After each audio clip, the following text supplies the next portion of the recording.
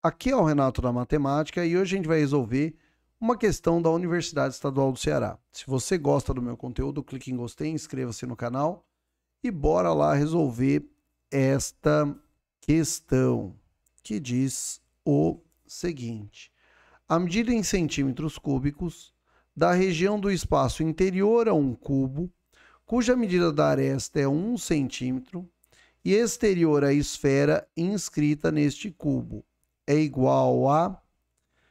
Bem, para fazer esse desenho, vou fazer uma coisa um pouquinho mais esquemática, tá? Eu sei que é uma figura tridimensional, mas eu vou desenhar aqui como bidimensional, tá? Só para o desenho ficar me é, menos complicado. Então, tá aqui a figura, tá? O autor quer a área que é interior ao cubo e exterior à esfera. Então, interior ao cubo e exterior à esfera seria essa região verde. Então, o volume em questão seria equivalente ao volume do cubo menos o volume da esfera.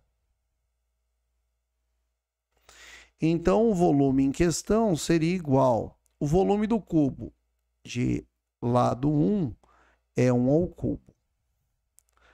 Agora vem, se o lado do cubo é igual a 1, perceba que esse 1 seria equivalente ao diâmetro da esfera.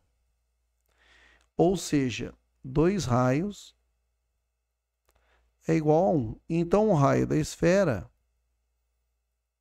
é igual a meio.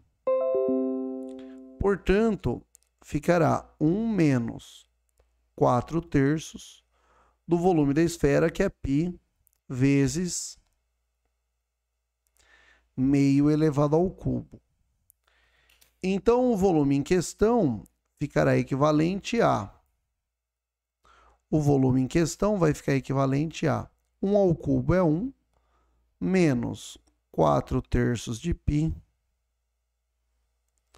vezes 1 ao cubo é 1 e 2 ao cubo é 8. Dá para cancelar o 4 com 8, vai ficar 2. Então, esse volume será igual a 1 menos π vezes 1 vezes 1 dá π, e 3 vezes 2 dá 6.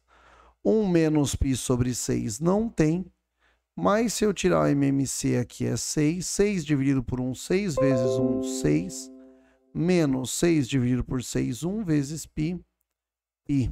Portanto, o volume em metros cúbicos será 6 menos π sobre 6, que corresponderá à alternativa A.